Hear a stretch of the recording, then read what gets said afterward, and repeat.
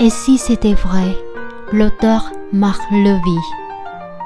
Était 1996. Le petit réveil posé sur la table de nuit en bois clair venait de sonner. Il était 5h30 et la chambre était baignée d'une lumière dorée que seuls les offres de San Francisco déversent. Toute la maisonnée dormait, la chienne Cali couchée sur le grand tapis. Laurent enfoui sous la couette au milieu de son grand lit. L'appartement de Laurent surprenait par la tendresse qu'ils ont dégagée. Au dernier étage d'une maison victorienne sur Green Street, il se composait d'un salon-cuisine à l'américaine, d'un dressing, d'une grande chambre et d'une vaste salle de bain avec fenêtre. Le sol était en parquet blanc à latte élargie. Celle de la salle de bain étant blanchie à la peinture et quatriée de carreaux noirs peints au pochoir. Les murs blancs ornés de dessins anciens chinaient dans les galeries d'Union Street.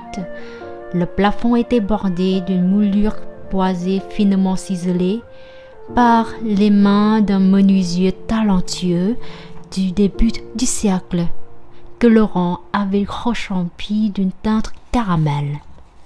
Quelques tapis de coco gancés de jute beige délimitaient les coins du salon, de la salle à manger et de la cheminée. Face à l'âtre, un gros canapé en cotonnade écru invitait à une assise profonde. Les quelques meubles épars étaient dominés par de très jolies lampes rehaussées d'abat-jour plissés, acquises une à une au fil des trois dernières années. La nuit avait été très courte. Interne en médecine au San Francisco Memorial Hospital, Laurent avait dû prolonger sa garde bien au-delà des 24 heures habituelles en raison de l'arrivage tardif des victimes d'un grand incendie.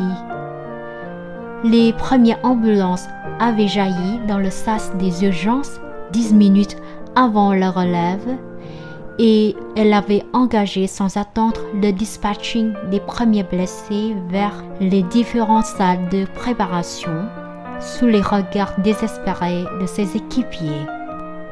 Avec une méthodologie de virtuose, elle auscultait en quelques minutes chaque patient, lui attribuait une étiquette de couleur matérialisant la gravité de la situation, rédigeait un diagnostic préliminaire, ordonnait les premiers examens et dirigeait les brancardiers vers la salle appropriée. Le trait de 16 personnes débarquées entre minuit et minuit 15 fut terminé à minuit 30 précise et les chirurgiens, rappelés pour la circonstance, purent commencer leur première opération de cette longue nuit dès une heure moins le quart. Laurent avait assisté le docteur Feinstein au cours de deux interventions successives.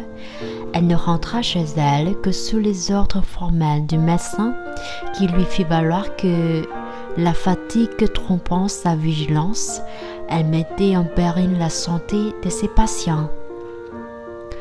Au milieu de la nuit, elle quitta le parking de l'hôpital au volant de sa triomphe rentrant chez elle à vive allure par les rues désertes. Je suis trop fatiguée et je roule trop vite, se répétait-elle de minute en minute pour lutter contre l'endormissement. Mais l'idée de retourner aux urgences, côté salle et non côté coulisses, suffisait en elle-même à la tenir éveillée. Elle actionna la porte télécommandée de son garage et gara sa vieille automobile. Passant par le corridor intérieur, elle escalada quatre à quatre les marches de l'escalier principal et entra chez elle avec soulagement.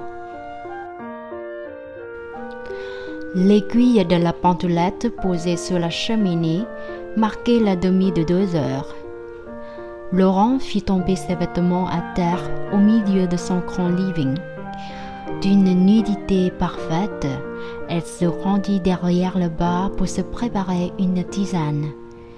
Les bocaux qui ornaient l'étagère en contenaient de tout essence, comme si chaque moment de la journée avait son parfum d'infusion.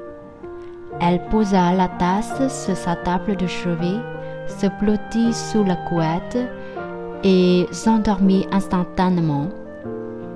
La journée précédente avait été beaucoup trop longue et celle qui annonçait nécessitait un lever matinal.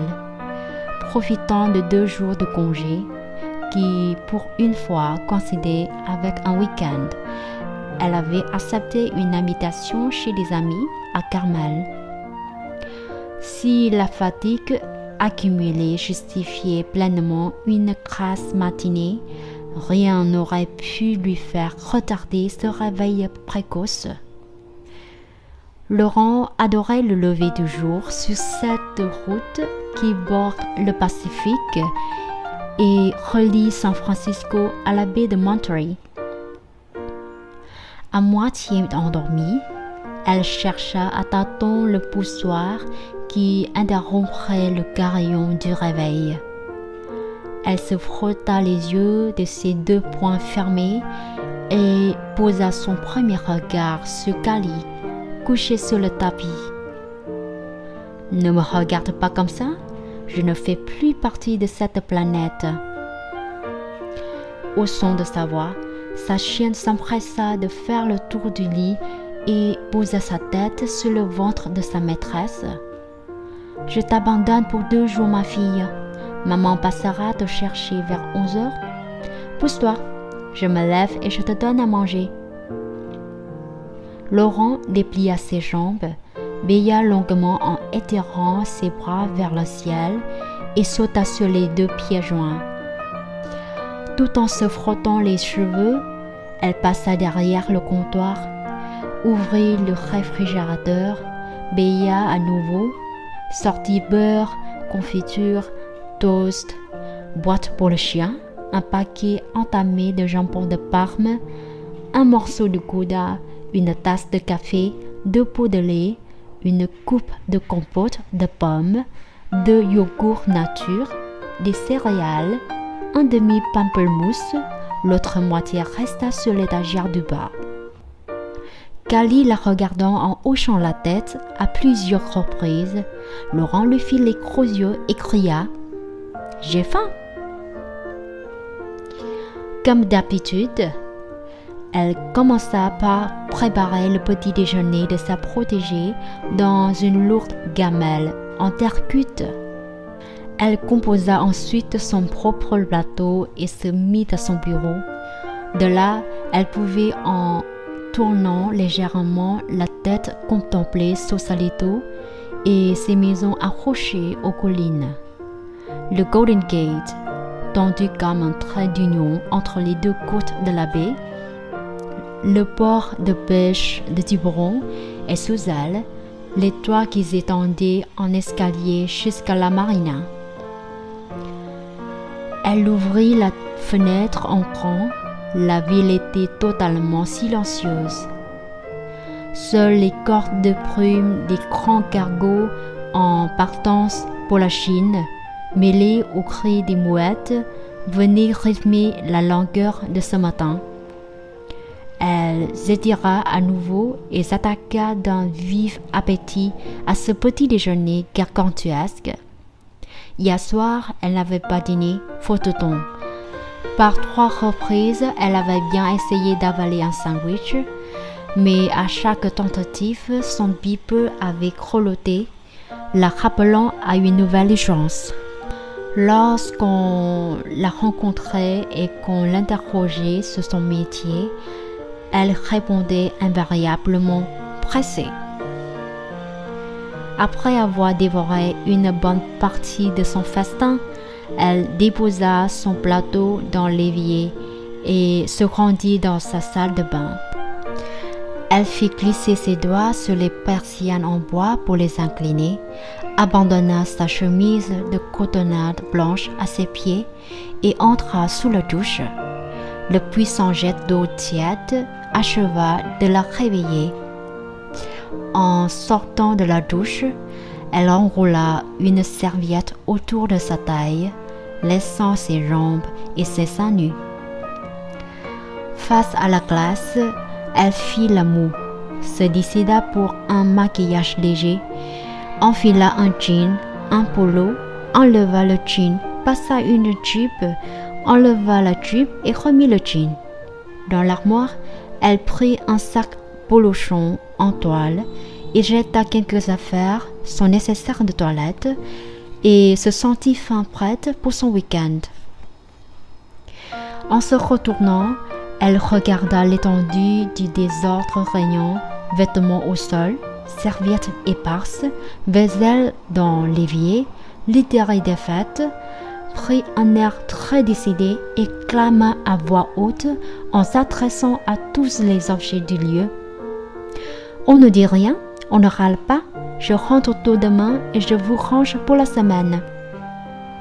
Puis elle attrapa un crayon et un papier et rédigea la note suivante avant de la coller sur la porte du réfrigérateur avec un gros aimant en forme de grenouille. Maman, merci pour la chienne. Surtout ne range rien.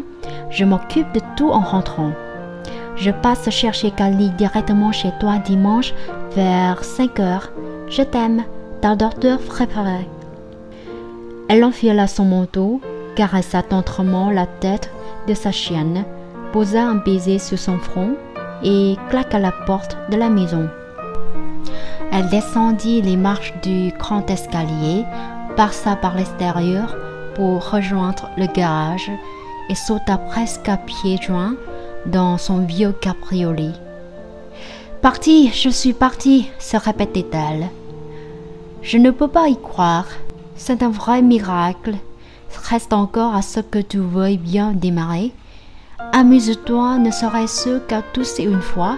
Je noie ton moteur avec du sirop avant de te jeter à la casse et je te remplace par une jeune voiture tout électronique, sans starter et sans état d'âme quand il ferait froid le matin.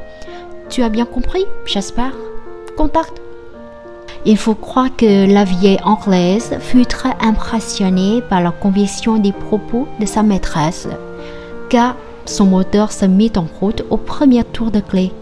Une belle journée s'annonçait.